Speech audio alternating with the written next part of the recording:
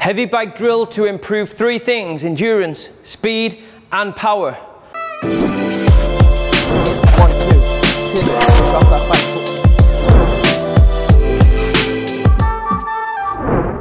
What you're gonna need for this drill is a timer, boxing timer right here. You're gonna set it for 10 seconds.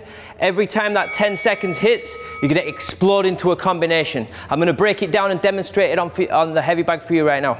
So the combination is this, we're going straight punches, one, twos, hands back to the chin, working on technique. That's your endurance part, right? Every 10 seconds, as soon as you hear that timer go off, you're gonna explode into a speed, powerful combination. Max effort, max power and speed, which is gonna be a cross, hook, cross, body shot. And then as soon as you finish with that body shot, right back to your straight punches. You're gonna do that every time the timer hits, every 10 seconds. I wanted to challenge you to get to about 15 to 20 complete sets of this thing, which is gonna give you about two and a half to three minutes of non-stop work. So one more time, it's straight punches, and every time you hear that bell, it's cross hook, cross body shot, and then right back into your straight punches, nice and relaxed and breathing on those straight punches. Every 10 seconds, you're gonna sit into the hips and really whip that cross hook, cross in and the body shot and then straight back to the straight punches, okay?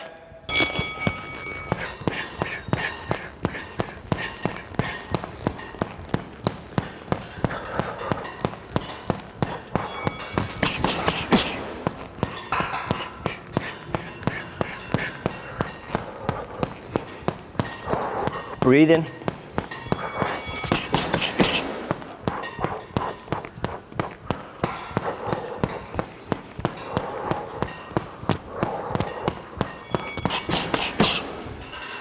Try it out.